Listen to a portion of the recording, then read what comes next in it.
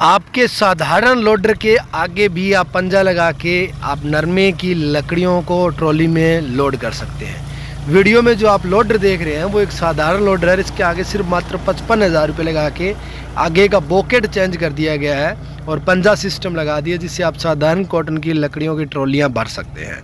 यानी कि इसमें छः पंप वाले लोडर की ज़रूरत नहीं है। साधारण जो आपका चार पंप का लोडर है, उसी से आप आसानी से कार्य कर सकते हैं।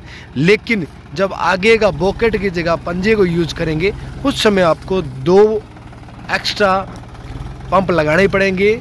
और उसके लिए आपका डिस्ट्रीब्यूटर कैसा है, उस पर भी डिपेंड करता है। जो वीडियो में देख रहे हैं, बिल्कुल साधारण लोडर अपना, साधारण मिस्त्री द्वारा तैयार किया हुआ है।